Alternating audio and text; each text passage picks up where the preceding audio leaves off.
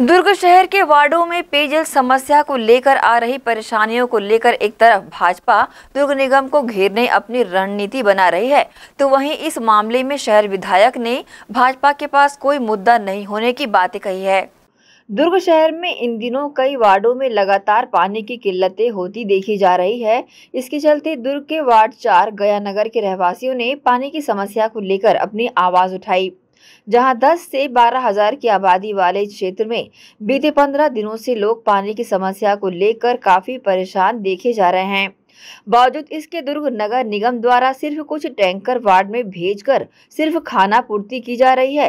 खाना पूर्ति का आरोप लगाते हुए भाजपा के पूर्व सभापति दिनेश देवांगन ने शहर विधायक और महापौर को घेरा। जिस पर अपना पलटवार करते हुए शहर विधायक अरुण वोरा ने भाजपा पर तंज कसते हुए कहा कि भाजपा के पास कोई मुद्दा नहीं है, वो सिर्फ़ शहर की जनता को गुमराह कर हथकंडे अपना रही है। इस संबंध में शहर विधायक अरुण वोरा ने न्यूज़ टीम के समक्ष प्रतिक्रिया दी। देखिए, पहली बात तो यह है कि भारतीय जनता पार्टी के पास कोई मुद्दा नहीं है। अपने अस्तित्व को बचाने के लिए वो कोई नए तरह तरह के हथकंडे अपनाती रहती है। मैं आपको बताना चाहूँगा कि शहर का चौमुखी विकास हो रहा है और सबसे पहली प्राथमिकता में हमारी पेयजल है। हमने सबसे पहले पानी की समस्या को दूर करने का प्रयास किया और आपने देखा होगा कि लगभग लगभग सभी वार्डों में यह समस्या दूर हो गई है। कुछ वार्डों में निश्चित रूप से समस्याएँ आ रही है।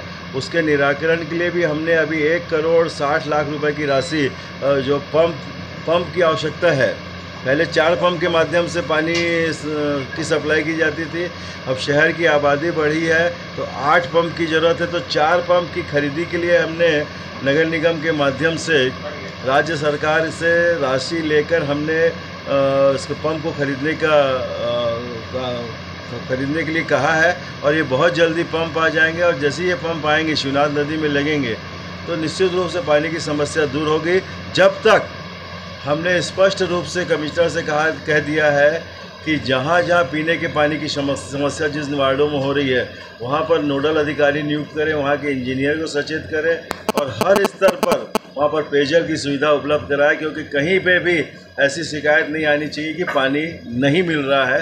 मुझ तक भी ये शिकायत आती है, लेकिन हम उसका निराकरण करने में कोई प्रयास कमी नहीं करने, हमने महापौर जी से भी कह दिया है। और आयुक्त महोदय से भी कहा है कि वे पूरी मॉनिटरिंग करें और चाक चौबंद व्यवस्था होनी चाहिए, पीने के पानी की, सड़क, नाली, बिजली, पानी, ये मूलभूत आवश्यकता है। इसकी पूर्ति में हम लोग कहीं भी पीछे नहीं है और भारतीय जनता पार्टी ने अपने शासनकाल में कुछ भी नहीं किया।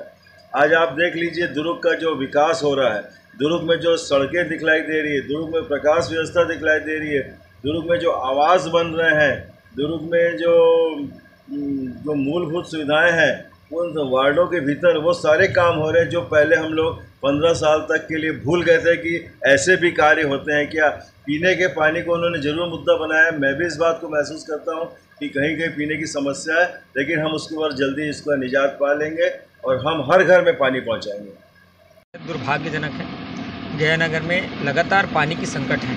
पिछले दो सालों से हम बहुत संघर्ष कर रहे हैं। बघेरा से यहाँ पानी टंकी से पहुँचता है पानी।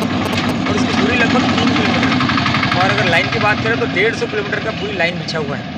और अंतिम क्षण तक पानी पहुँचते पहुँचते पानी का धार बहुत पतला हो जाता है। पंद्रह से सत्रह दिन ऐसा हो गया कि कई घरों के नलों में पानी नहीं आ रहा है। बूंद भर पानी नहीं आ रहा है। कुछ घरों में आ रहे हैं तो कई घरों में पानी नहीं आ रहा है। लगातार परेशान हैं। लोग पानी के लिए इधर उधर भटक रहे इस विषय को लेकर हम लोगों ने लगातार आयुक्त को उच्च स्तर के अधिकारियों को महापौर सबको अवगत करा चुके हैं।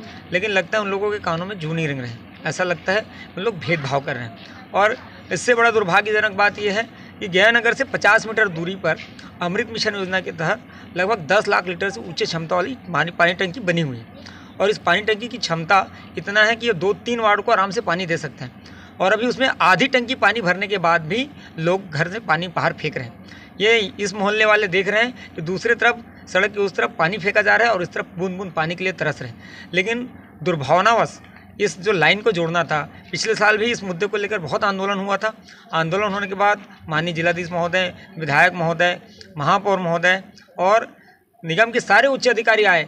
लगातार एक महीने तक वाच किया और अंत में ये पाए कि बघेरा टंकी बहुत दूर होता है और उसको यहाँ से पानी सप्लाई नहीं हो सकता, इसलिए गया नगर को गिरधारी नगर टंकी से जोड़ दिया जाए। बाकायदा नगर निगम के कर्मचारी आए, अधिकारी आए, अमृत मिशन के पूरे अधिकारी आए और काम भी शुरू कर दिए थे। और अचानक दबाव में, कांग्रेस नेता के दबाव में जो उस वार्ड से प्रतिनिधित्व करते हैं उसके दबाव में पूरे अधिकारी, कर्मचारियों को दबाव पूर्वक वापस बुलाया गया। उसका नतीजा ये हो कि लोग बुन बुन पानी के लिए तरस रहे कांग्रेस के राज में विधायक अरुण बोरा जी, महापौर कांग्रेस के हैं। इन लोग किस प्रकार से भेदभाव करते हैं? ये चौक गयानगर भाजपा का वार्ड है और दूसरी तरफ़ कांग्रेस का वार्ड ये भेदभाव इन लोग करते जबकि भाजपा के कार्यकाल में कभी ऐसा भेदभाव नहीं हुआ। जो टंकी बनी वो भाजपा शासन के कार्यकाल में बना, वो भी कांग्रेस के वार्ड में बना। इस तरह से ये पूरी भेदभावपूर्ण रवैया जिससे गयानगर की जनता और ये पूरी शहर की समस्या है। इस मुद्दों को लेकर अब सबने मन बना लिया है कि चौबीस तारीख को हम सब हल्ला बोल करेंगे। ग्रैंड एशियन न्यूज़ के लिए दुर्ग से नसीम फारूकी की रिपोर्ट।